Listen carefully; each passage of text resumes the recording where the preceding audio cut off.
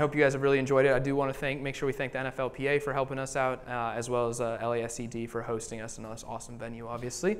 Uh, so I'm gonna give you a quick background and bio on Marianne, and then we'll get her and Ian up here and let them run the show. So Marianne Radley is the Chief Brand Officer for Pizza Hut US. In this role, she oversees the brand's advertising, digital marketing, consumer insights, culinary, and quality assurance team. So basically everything. And works closely with the Pizza Hut leadership team to set the business vision and strategy. Uh, before joining Pizza Hut, Marianne served as the Senior Vice President of Global Marketing at Monster Beverage in Corona. There, she was responsible for all marketing, sponsorships, and activation efforts for the company and helped successfully launch Monster Energy Drink to 40 new countries over a period of 20 months. Prior to that, Marianne spent 15 years at AB InBev, serving in roles ranging from field sales, sales promotion, new product innovation, and brand management. She was the first woman to be named a, Budweiser brand manager in the company's history and went on to develop key experiential marketing platforms and initiatives for the brand. So obviously, a really, really good person, and I think you guys are going to get a lot from her. So I'm super excited to welcome up Marianne and Ian.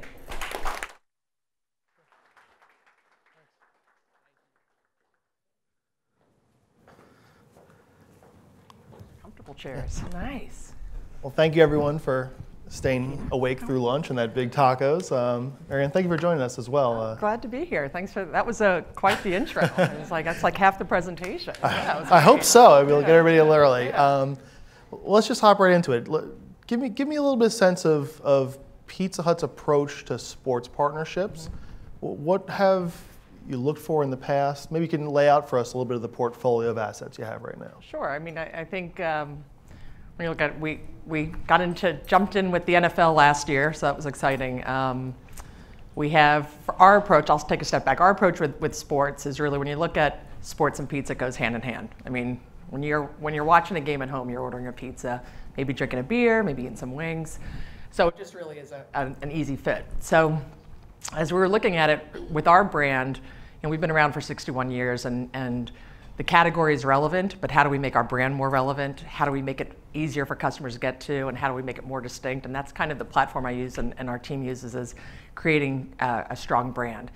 Really a red, red dynamic, relevant, easy, distinct. So our, our entry into sports was about how do we connect with fans, particularly with NFL when we signed the deal, is we wanted to bring the fan experience closer to people at home. I mean, every, every weekend you have hundreds of thousands of people in the stands, but there's millions more watching at home. So how do we connect with them in a very authentic and real way? Um, and then also for us, we've been very engaged in youth sports for a long time. Um, we have a very big literacy project, which is not necessarily tied to sports, but our commitment to youth and youth education. We've been doing the first book and um, literacy project for, gosh, 40 years. I mean, does anyone in here did where you read five books, you get a free personal pan pizza. Anyone? Yes. Book It program. You got your Book It? Yeah. so, so, we've always been connected from the community with our Book It program, and uh, so we, we tied in with the NCAA, um, and that was just a natural natural move for us as a brand. So sure. when you're thinking about where our core is and what we do, we are about family, we're about togetherness, we're about fun, and we're about sports. And so it was natural. I mean, it was a great opportunity for us to jump in with the NFL last year. Um, we announced the deal, and it was six weeks later we had the we had the draft. So it was definitely a. I came on in February, so it was February of last year. I came on board, and we announced the deal in April, and then we had six weeks to execute the um, NFL draft. And Gene, I mean, I, we yeah, we spent a lot of time up in New York meeting with the NFL team and the NFLPA, and uh, they were great partners, and um, it was good. And it was really how do we activate in a way that's authentic? We're not about sure. we don't want to slap a logo. And we don't have a brand awareness issue. I mean, Pizza Hut has a 98.6% brand awareness around the world, actually. Um, so that's not a brand awareness issue, it's a brand relevancy issue. So that's really our tie with sports is to become more relevant. So you mentioned there that six weeks or so mm-hmm. span before yeah. the draft. I mean, it's talk about like feet to the fire right yeah, there. How did you yeah. even? No sleep, a lot of monster. Yeah, I believe it. Yeah, yeah, good, pizza. Yeah, yeah, perfect. At least you weren't, you weren't hungry, so yeah, that's good. Uh, but how did you sort of go about that process? I mean, how is that build out when mm-hmm. you're you have that huge event like that and you really want to make that big splash alongside that? Yeah, well, I think we were. Well, I have to say, we, I think I know we were very fortunate that it was in Dallas. That's our backyard. Our offices are in Plano, so that was very helpful for us. I think if it was in Seattle or sure in LA, it might have been a little bit more of a challenge. Um, so to set up the infrastructure, our focus was about activation on site to really leave a good impression with people attending. Uh, it was a great opportunity for fans to get uh, the draft and what the NFL has done with the draft over the years has been unbelievable. It has become a cultural event. They have really dialed it up. And if anyone had the opportunity to go to Nashville this year, it was really phenomenal. As much as it was raining, it was it was so much fun. And um, but having Dallas, it was you bring your fans in, they're going to go in, they're going to cheer for the team. It's a moment of hope that even even the worst teams have this moment of hope that they're going to be the best team of the season. And we wanted to capture that a little bit, and we wanted to make it exciting for people that are in the parking lot. Either they can't get in or they're going in, that they're having some sort of engagement and some take home with them. So mm-hmm. we built out a big activation area. We gave away free pizzas, which uh, is always goes well. Um, we had we had players come by. You know, a lot of our players came by and had some fan interaction with the players. Uh, we created a 360 experience because our big kick was the doorbell dance. So when you're, you know, we see the touchdown dance, and how do we tie football and pizza in with a touchdown dance? It's really when you get your pizza delivered at home, you're kind of doing a doorbell dance. That hey, yeah, my pizza's here, my wings are here, I'm ready to. Yeah. So we created a doorbell dance experience there, and um, and just got fans engaged and excited about it. And that's really that's really what our approach is. Yeah. How is that sort of bled in then once you could kind of digest and pardon the pun and, and go into the regular season, go into the Super Bowl? Yeah. How do you how do you sort of translate some of that, you know, dive right in mentality mm-hmm. to sort of season long campaign or, or build up to the Super Bowl in a lot of ways. Yeah, I think when you go to the relevancy, um, as we're activating through the year, it was we wanted to associate ourselves with some teams. So mm-hmm. we knew right off we needed some team sponsorships, and we also wanted some player sponsorships um, and, and partnerships. So actually, our, our teams, we, we selected to work with four teams, the, the Rams, the Chargers, so I'm in the right building here, uh, the Rams and the Chargers. Uh, we did the Pittsburgh Steelers and the Seattle Seahawks. And, and three of the four teams made it to the postseason, so that was a pretty bad, good, yeah. pretty good track record. Won some money in Vegas on that one. um, and uh, our players, we looked at players that had the same sort of moral, you know, every player contract you have, there's always a moral, there's always a moral clause in it. But it, we are a family brand, mm-hmm. and we're a fun brand, and we don't take our, we really don't need to take ourselves too seriously. But we want to make sure we have players that are authentic, and that have that core love for the for the brand and for the product, and had some sort of memory about the about Pizza Hut and a great experience. And so, like Todd Gurley, it was just great. His he was very connected with his Pizza Hut back home in the Carolinas, and when he goes home, he he's always shooting foot, you know, he's shooting videos of him driving through. There's a drive-through at his Pizza Hut, and he brings picks up a bunch of pizzas and brings it to local kids in the neighborhood. Um, Tyler Lockett with the Seahawks. I mean, he is just such a great human being. He really is just such a great guy, and he's someone who just commits so much to the community. And that's players that we want to be with. We want to be with good players. It's great if they're good on the field, but it's even better when they're good off the field, and that's what our approach is. Um, and it just fits well with our plan. So for us, it was locking in the teams, locking in some players, and getting content and getting some really relevant and authentic connections with our brand. Yeah. You have something like the NCAA property versus that. I mean, it has mm-hmm. to be obviously a little bit different strategy, just given how each sort of yeah. property is structured. Where do you see sort of similarities in certain ways, or maybe you can pulled some of that strategy in, or, and where has it really differed? Where maybe that's let you guys had success in other ways that you couldn't have done against the other one. Yeah, the similarities, first of all, is the, is the love of the game and sport. Sure. I mean, the passion for sports that the fans have, and everyone who's attending the events. Um, where we have uh, a unique kind of entryway with the NCAA, and we do our game day broadcast on Saturday and get in the fan zone. I mean, those college kids are there at you know four in the morning. Actually, some of them are there camping out for college game day. They they get there like. Um, 7 a.m. on Friday for the college game day broadcast on Saturday. So we're there feeding them pizzas leading up into then. So they're just, I mean, by the time college game day kicks off, they are in this frenzied state that you haven't, uh, you don't really see um, up close and personal as much when we're at the, NF- at the NFL games. I mean, it, it, absolutely, you have those frenzied fans, but this is just a younger, um, just, they have so much energy. Um, and so our activation with them is we, we've got to figure out how to connect with them and how to talk with them in a way that they understand. Um, there's a lot of, of, of consumers and, and, fans that are you know, maybe 35 and over who, who remember going to the Pizza Hut restaurant after Little League or going there for their first date or their birthday parties. And you know, playing Pac-Man. I see you nodding, so I'm hoping you're yeah, Pac-Man and and pl- yeah, yeah. breadsticks. You know, your little your little thing with your pan pizza on it. Yeah, I mean, it was the red and white checkered tablecloths. I mean, there's all these great memories. And there's this generation that hasn't had that experience. And we, have, we still have 2,500 dine-in restaurants, but a lot of them are in, in um, the Midwest and a lot are in more rural markets. Mm-hmm. So when you're looking at the coverage of um, of NFL and the overlap there, we really don't have a lot of dine-in restaurants there. So our approach was how do we get that, that love of the brand to those customers that are either looking at the game and then at the college, the college students, it was activation, activation the day of the broadcast, and then bringing our pizza and some of our great excitement around our brand and even some of our kind of nostalgic equities to them. So, yeah. I mean, it, it's really, it's a love of sport is very consistent across both. Sure. But um, for NCAA, though, we just don't do football. We do all of the right. NCAA sports. So, uh, women's lacrosse, uh, swimming, diving, and that just gives us a broader reach. And it's really, there's some of those great celebratory moments that being part of and just going to some of these, there, there's sports I've gone to now through this partnership that I'd never gone. I, I was a college athlete. I never went to some of these events. And then going to them, it was just so great seeing the, the fervor and the excitement and then connecting with the, the, families and the parents of some of these athletes. It's just really fun. Sure. Well, you yeah. touched on some of those nostalgic elements, things that people remember about the brand.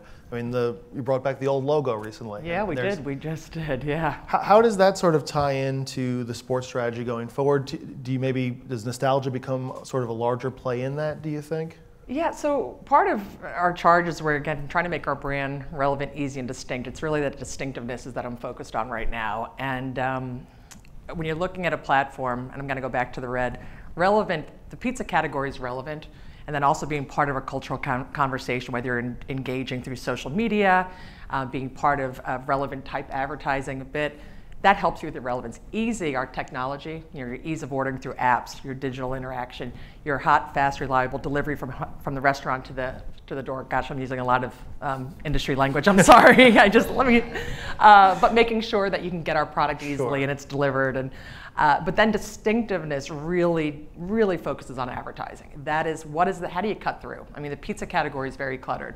So for distinctiveness, what we did, there's, there's two ways to make your brand distinctive. You can either develop a new asset and equities, or you can look at existing asset and equities. So we decided let's look at some existing asset and equities. We did working with our agency, which is a phenomenal agency out of Austin, GSD&M, mm-hmm. and then also we have an agency out here in California named Collider, who um, who does a lot of insights. We worked with them for about five months and digging into what assets do we have as a brand, because um, as we're looking through what will people gravitate towards, and we did this, we, we talked to 3,000 customers. Actually, it was a really fun journey. We went up to Kansas to our, we have a Pizza Hut Museum on Wichita, in Wichita State campus. If you haven't seen it, it's where our first Pizza Hut was.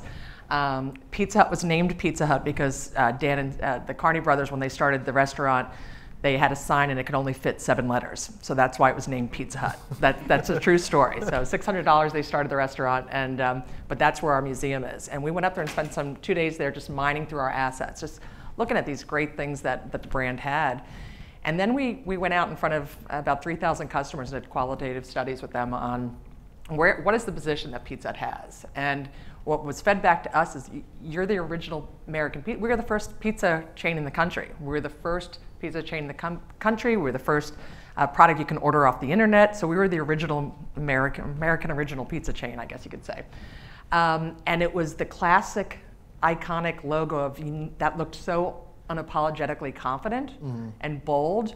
And what we were being fed back from customers were like, "Hey, you're the OG of the pizza company. You need to start acting like it." And you're and that boldness and confidence. And, and I think over the years, you know, we're a Midwest company originally started, that we started, you, you can't be too boastful. It's w- within the fabric of our company, I guess. You can't be too sure. boastful, but you can be proud. And so our positioning that we did with bringing back the classic logo in our advertising is just being a more bold and unapologetically confident company.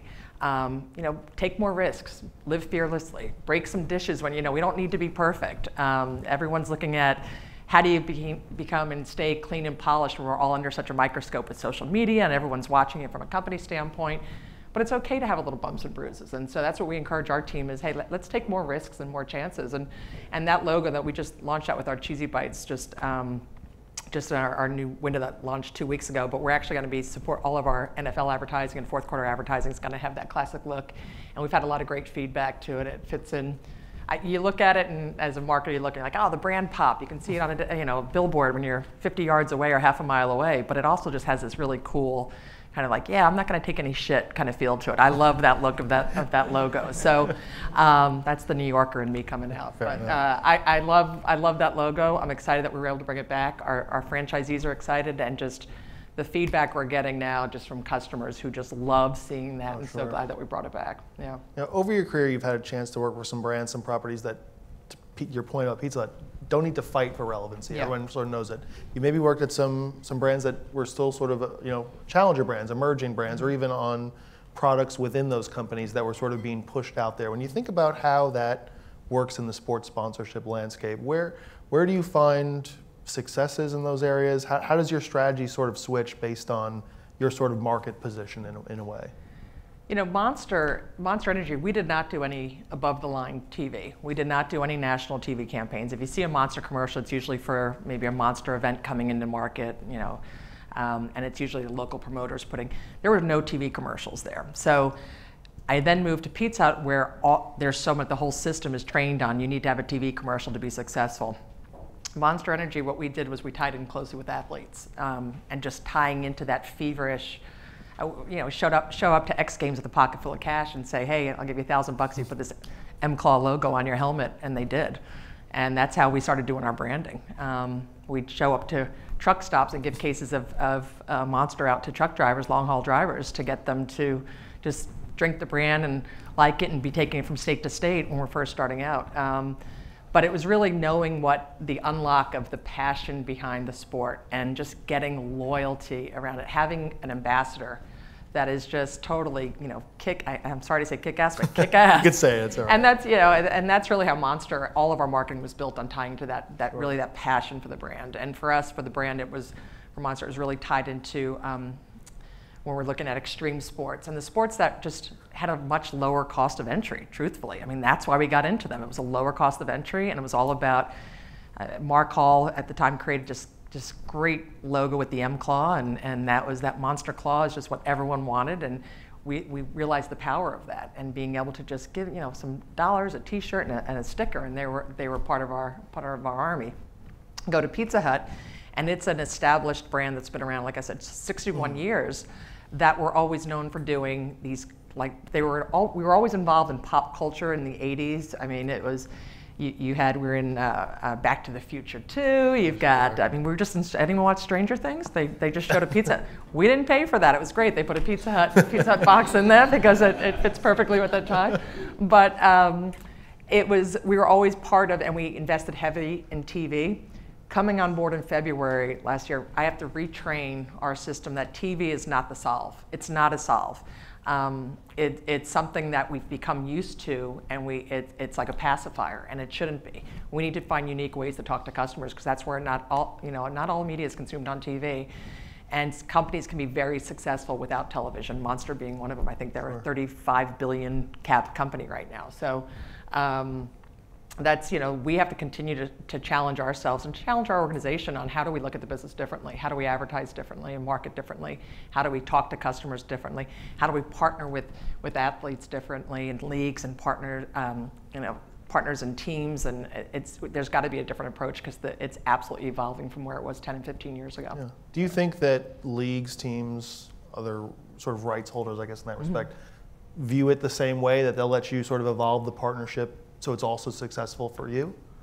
you know, you, you get a good partnership, and, and the NFL's been great to work with, and the NFLPA, Gene, I'm not saying that just because you're sitting right there, but you guys have been great partners as well. They're always just, but it's interesting when you're, when you're used to doing business a certain way, when you try to disrupt it a bit, everyone gets uncomfortable. And um, what, as we looked at last year when we announced the deal, and it was six weeks to draft, there were a lot of things that we were pushing that may have made people feel a bit uncomfortable.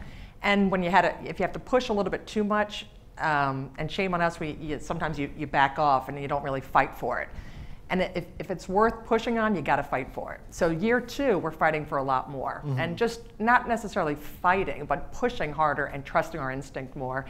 And a lot of what we did, and we had some great player content last year that uh, as we were as we were having kind of discussions with the NFL on what we how we would love to leverage players, there was definitely a little bit of uncomfortableness on what we wanted to do. And we had a great with Todd Gurley, he was his bye week. He's at home watching the Minnesota Vikings with his friends, and we were able to go in there with cameras and film. He's ordered a bunch of pizza pizzas and our wings, and it was a truly authentic.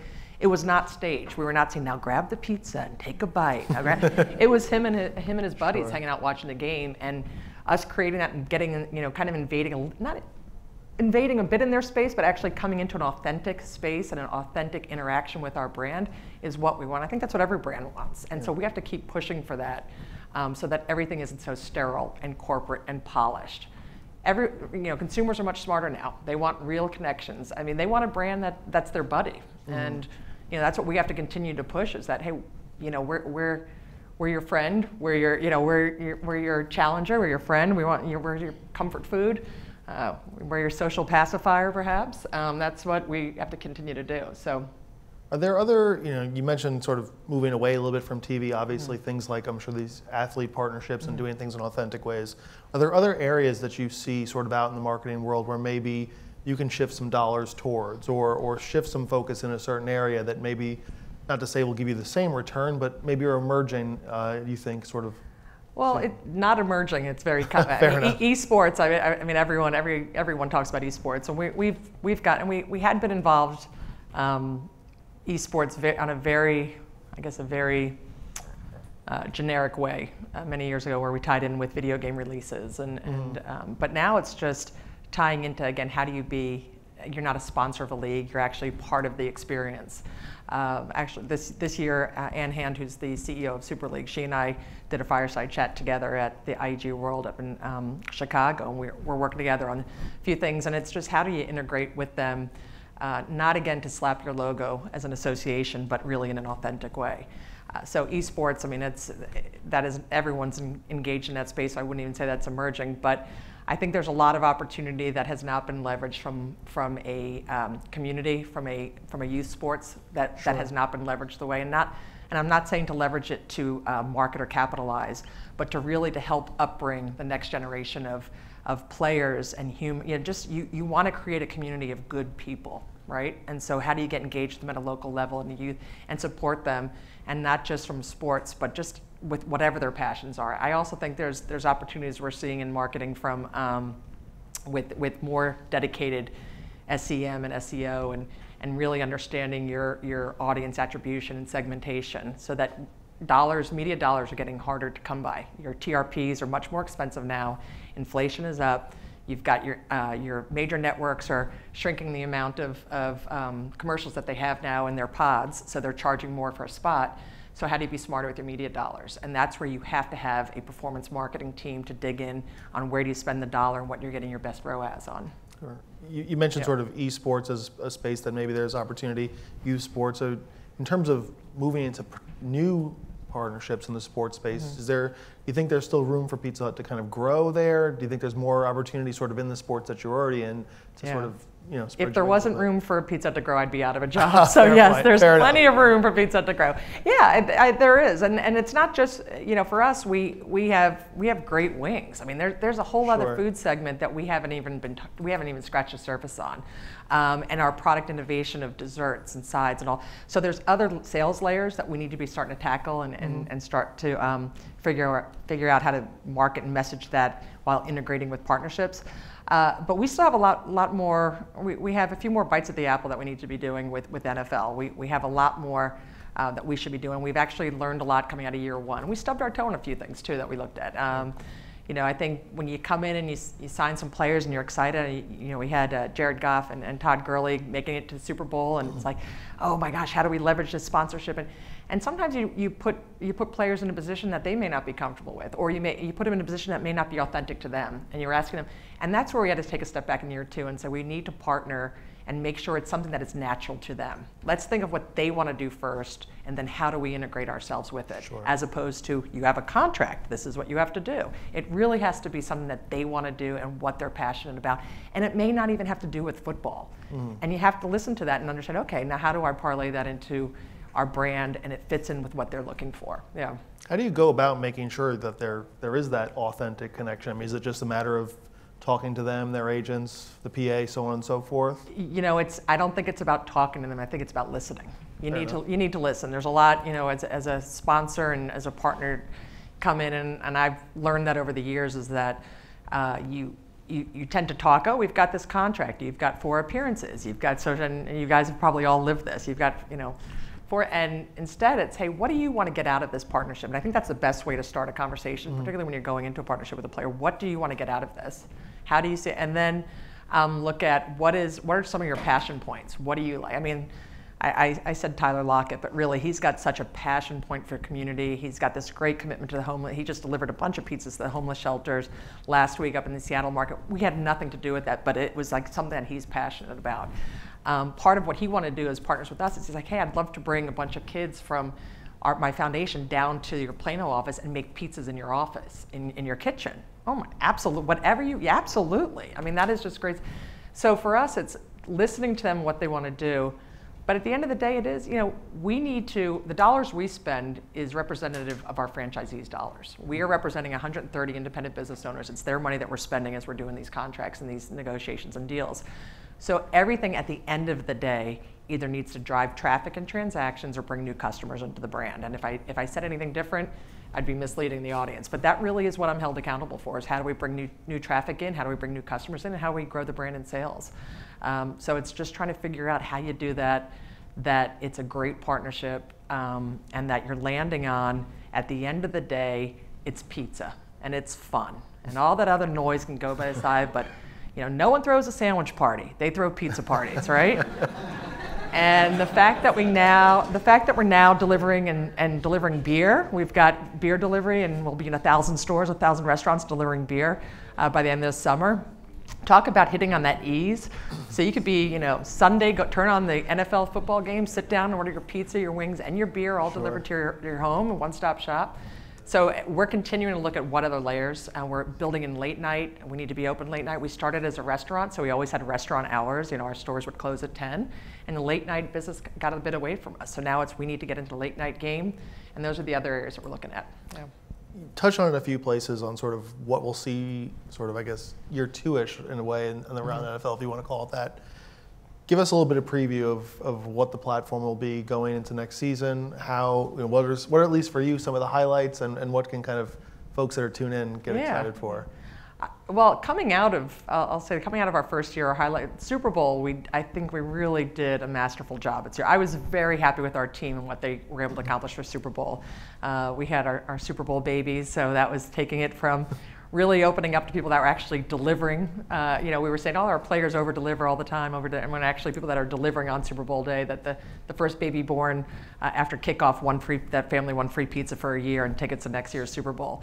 Um, and we were getting a lot of people like trying to force their, come on, you know, we were getting all kinds of messages the night before Super Bowl of I fed my wife sauerkraut and you know beer and hot peppers, trying to get her, you know, it's like, uh, but um, that you know that the Super Bowl babies was great. We also did uh, in the two local markets in, in LA and up in um, in New England. We had uh, pizzas delivered to all the all the maternity wards that people that were delivering on had babies delivered on Super Bowl. We delivered pizzas to them. So being again tying back into that family element, uh, and then we had great activation area. I mean the activation area at the, our Super Bowl. I you know anyone who saw it, I thought it was the belle of the ball. I thought we had probably we had the longest lines. Uh, we had the longest wait. Uh, of course, giving out free pizza helps, but then having the 360 dance, where, and we had a lot of players show up um, and, and integrate and interact with our with the consumers. Going into this year, again, dialing back to it needs to drive traffic and transactions. We are going big on, you know, our our we've got our packaging that is we can tie in with the NFL, and we can, as we're looking at our distinctiveness work that we're doing, and kind of do an old school feel. How do we? How does that relate to football? How does that old school feel relate to the NFL? And how does that old school football feel and old school look relate to whether NCAA or anything that we're doing? So we're we're having a lot of fun there. We're doing a lot. We're going to be having some some. Um, Great, great. Uh, I can't announce it yet. My Fair my, no my director got my my P, my director of PR is going to come after me wherever wherever he is because we are a publicly traded company, so I can't share this No until worries. I got another week till I can share it. um, but uh, just we're going to be leveraging a lot more the content of players, uh, the integration with our brand with those players. Um, we've got some terrific things that we're going to be um, shooting next week that will be airing on TV and, and on digital and social. Um, and then it's elevating our experiences for the customers, uniquely Pizza experiences that are associated with NFL as well. Uh, and then at college and NCAA, you know, we've got you got Thursday night football with NFL, you got Friday night lights with high school, and our again our pizza restaurants are really tied in with the community. Saturday you got college football, Sundays NFL, Mondays NFL. So we've got five days of the week pretty locked Yeah. up. How do we make the other days work a little bit harder for us? And we're doing some unique things to tie to kind of build up the runway going into the into the football viewing weekend. So a lot of really, you know, like I said, player integration, but also uh, taking a look at bringing that. We need to bring those customers closer to the game and the experience, and we're going to be giving giving away a lot of opportunities to do that. So You touched on the Super Bowl activation Mm-hmm. and that sort of thing. I mean, it seems like leagues, teams, properties are trying to make their events big, or if they're already big, like the Super Bowl, even bigger. From Mm-hmm. Yeah. from a brand point of view, where have you found success in, on an on-site activation? What are some things that maybe sort of been forced on you, whether it's footprint Mm-hmm. or what you can do that maybe you've, you've walked away and said we could have done, maybe done that a little bit better? So for Atlanta, with the Super Bowl being Atlanta, we turned Atlanta into Hutlanta, which was good. Then we changed our, our Pizza Hut restaurants to Pizza Hut Hut to tie in, and we thought that was yeah, it's, that's great. But we could have done a, a better job at that. I think of, of doing a little bit more broader. Um, you know, there were some select so, select restaurants, so that's very tactical. Select restaurants we did, and I think we could have done a, cast a wider net on that. Uh, I think gosh, I'm saying I think a lot. I know. um, going into uh, this year, what we could do better is, you know, I touched on it a little bit earlier, was um, the authentic connection with the, with the players. Sure. But I also want to go a little bit further in the storytelling, and we need to do a better job at storytelling on, um, on how our product integrates. Um, and not just our product itself, but the memories of Pizza Hut and their experience with Pizza Hut. Uh, you know, there's there's quite a few NFL players that actually worked at Pizza Hut when they were teenagers. Uh, we've got a couple NFL players whose parents worked at Pizza Hut. Um, so there's a lot of really unique stories that our that our brand has been um, part of, and I think we need to kind of tap into that a bit. And as we're looking at Super Bowl this year, it's expanding on our activation and. We know what people loved and really gravitated towards, but I'd, I'd like to take that experience and make it more mobile to people that can't get down to the Super Bowl and take it more and leverage it a little bit more during playoffs and le- leverage it more during the, during the season. So those are some things that we're going to be doing. Cool. Yeah. I know how bad it is when someone hogs all the pizza, so I want to open the floor Yeah. to questions. um, anybody out there has something from Aaron that they want to ask? Uh, oh, there we go, right up. Um, in terms of expanding the brand, Mm-hmm. growth opportunities, uh, any opportunities in women's sports? Yeah, you know that's that's a uh, that's a passion point of mine. So we are looking at that now. We are heavily we in fact when you look at our uh, engagement and what we do from an activation in NCAA, we, we skew heavier in support around the, the female sports because there is you know we need to have a, a broader stage for women, particularly in professional sports. Um, so we really focus in on the NCAA and supporting women's sports and women's college sports there. Uh, we um, but there's always opportunity, and we are trying to push that. Yeah. Thank you. That's a great question. Okay. Yeah, sure. Uh, so you mentioned, oh, thanks. So you mentioned how everything you guys do needs to drive uh, traffic and transactions. So how is the NFL measured and shown that their partnership's doing that for you? For, for the first year, we looked at our, it was, yeah, I mentioned we don't have a brand awareness issue, but we had a brand relevancy issue. And so we do relevancy, brand relevancy testing and scoring, and we look at our pre and pro, our pre and po, I say pro, oh yeah. Um, and it's, uh, it's, we, we did the relevancy score prior to the, to the deal, and we see where we're falling off. There's, there's actually age segments that we're very, that we have opportunity. And that's really as our messaging and our advertising and even our partnerships and, and associations with players, it's really to, to look at some of those age segments that, that have that following and have that audience. Um, a great example, Juju Smith-Schuster, and he's been a fantastic partner with us.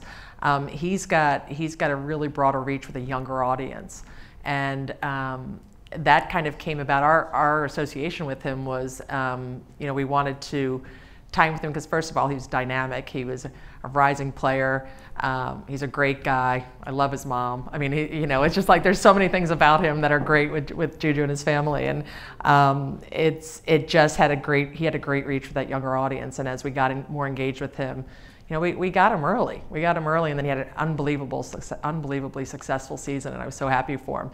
But he, um, that talked to an audience that we may have been missing over the past past few years. So it's really important that we kind of align ourselves with those, look at our strategies and the pillars on, on who we're associating ourselves at who it talks to. So brand relevancy, and then even as we're looking at um, in the in the teams that the team markets, how has our business improved there? Uh, and also the store level economics. Store level economics are important to us as well. And, and how does the, the traffic and the business of, of NFL and associating with NFL and the viewership and the and, um, increased stage and presence and branding, how is that driving transactions? And that we look at that as well. Um, so yeah, that's how we measure it all. I said it backward, yeah. Um, so you mentioned the specific club partnerships you had were the Mm-hmm. for the Seahawks, Steelers, Rams, and Chargers. Um, did you look at all 32 teams, and what what made you select those four? So we selected those four. First, we looked at what was available. There were some teams that already had existing partnerships, um, uh, some with competitors of ours, or there was a, a, a QSR, which is quick serve restaurant, uh, QSR lockup already that they could not approach, they could not deal with us. But what we did look at the, the teams that were available. We then looked at where we're, how did it overlay with the amount of Pizza business we had in Pizza stores. So did it fit a business need? LA is a very big market for us. The California, Southern California is a very big market, and it's also has a little bit of um, got a lot of pressures on it. It's a high wage market, and we're seeing, you know, you're going to look at another minimum wage. The margins on, in pizza and pizza are, are very thin, and so when you're looking at you've got these constant pressures from an economic and again a store level economic model uh, where your your your hourly rate is going up to 12 14 15 dollars an hour you're driving a pizza to deliver a pizza 15 minutes away and 15 minutes back to the store you've just used you know $7.50 to deliver that 7.99 pizza right so we were looking at how do we give a bigger voice to these markets and then we also looked at um, teams as far as their uh, their following their fan base we overlaid it on from a national map on who has the highest fan base nationally. Um, and we looked at also tying it in from a media perspective on how big of a media and a, a DMA they had from a broadcast standpoint. So those were all kind of what we looked at. And then it's who I liked because I'm a Rams fan, so you know, I got I got to weigh in at the end. Yeah. There's a new wave of companies putting their logos on jerseys. I- Mm-hmm. I read something where the Clippers made three million dollars in kind of ad revenue when Mm-hmm. Kawhi and Paul George went there, based off all the jersey swaps on Instagram. Is that something Pizza Hut wants to get into in the future, with it being a risk of teams panning out, and then just why or why not? Yeah, I mean, I, I call that the NASCAR approach, right? It looks like a NASCAR uniform. I don't think that's, you know, it's it's the NFL is really, it's it's whether or not the league is is moving in that direction. Um, for us, we haven't even considered it. We don't even ask for it. We, it's the NFL is really the one that would lead the charge on on what the teams would be allowing from a and the NFL um, Owners Association would, really be leading the charge on what um, what they can do for the uniforms. So we've never even talked or discussed it. Uh, we do like them to you know maybe wear a Pizza T-shirt when they're off the field, but uh, but we haven't talked at all about putting it on their uniforms. Thank you. Um, are you seeing a challenge from the fast casual space kind of growing with Blaze Pizza, CPK, um, and then also kind of the accessibility to them on delivery because of Postmates and Seamless? Yeah, I think when you look at the um, the aggregators first, I'll talk about the aggregators: Postmates, Grubhub, um, Uber Eats. That is definitely. I look at it all as share of stomach, and that was a you know we use that term in, in the beer business, and I, I use it here too. Is that if you're losing share of stomach, that someone's not eating your product, they're eating someone else's. Uh, so the aggregators they we invested in we actually bought part of grubhub. So yum as a corporation we invested in grubhub and it was really because we wanted to we didn't want to sit and watch what happened. We wanted to get some learnings from it. And for us it was really about understanding the customer the need state and getting into the data. So we have our hand and kind of our finger on the pulse with that. As we're looking at the casuals the, the mod pizzas and, and the blaze it's it's a different customer. Um, for the most part, our actually Pizza Hut, our, our, our customer um, annual average salary for a year is anywhere from 55,000 to 80,000 a year. Uh, when you're looking at the aggregators, their average salary of those customers of the post is 125,000. It's a t- two different customer sets. And then for the fast casual dine-in, it's a completely different experience because you're you're dining. We, we provide the delivery, and it's a different experience, and it's also a higher higher income customer What we have learned though is that you know we are we do delivery really well. We have 6,700 stores that we are the best at that last mile delivery. There is no one that does it better than we do. And as people are getting into the delivery game, they really are understanding how truly difficult it is. Uh, when you order, I, you, we, we have discussions. Hey, we're going to put Pizza Hut on Grubhub. I have a hard time with that because I don't want someone to order a pizza at pizza and have it delivered between 90 and 110 minutes. You know, that's a challenge. You want them to get it within 30 minutes and have a really good experience with your product. So we do have, um, we're constantly watching it. We are, are engaged uh, with, with, you know, with Grubhub from an aggregator standpoint. And for me, it's like, listen, I, there's plenty of there's plenty of space in the category. Um, the category I say it's cluttered. It is cluttered, but there's plenty of of, um, of different variations that people want, and we we fill a specific need, and we have great quality, and we're continuing to in, innovate too to kind of hit those other needs that we may not be talking to at this time. So. Are they are they a competitor? Yeah, I mean everyone who takes a, if, if a customer's not coming in my door and they decide to go into someone else's door, then they're definitely a competitor. But we need to we need to hold ourselves to a higher standard and, and work a little bit harder to make sure we get them back in.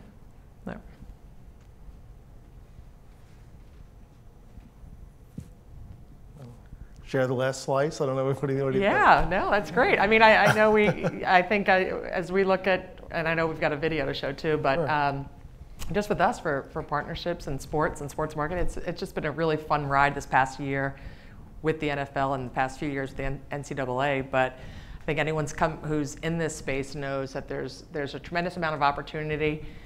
The biggest thing that, that I tell our team and even who I report to our president of our company, Artie, is you need to be authentic and you have to be real. And it's not just about your brand, it's about your person too. Your word is your word.